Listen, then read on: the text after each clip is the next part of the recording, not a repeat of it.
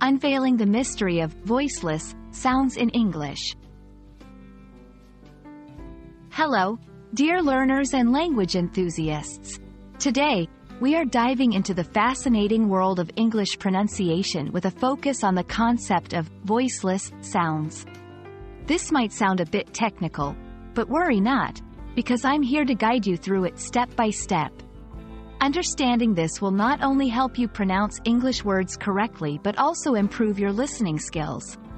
So, let's get started.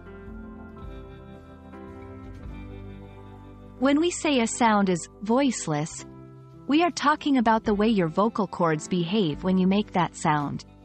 Voiceless sounds do not use the vibration of the vocal cords. Instead, they are produced with just the breath. To feel this in action, place your hand on your throat and say the sound of P, as in pat. Notice that there is no vibration. That's because P is a voiceless sound.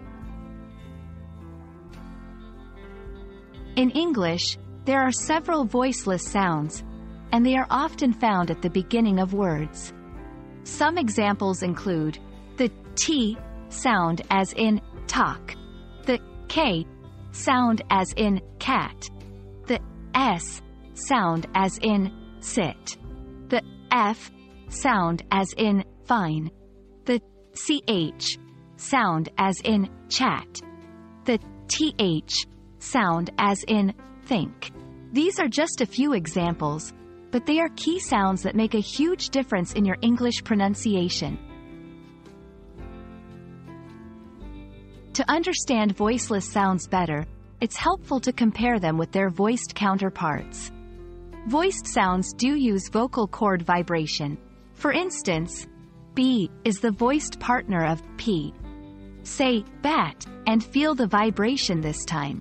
Another pair to try is S in sip, voiceless, versus Z in zip, voiced. Playing with these pairs helps you get a clear sense of what voicelessness in English sounds like.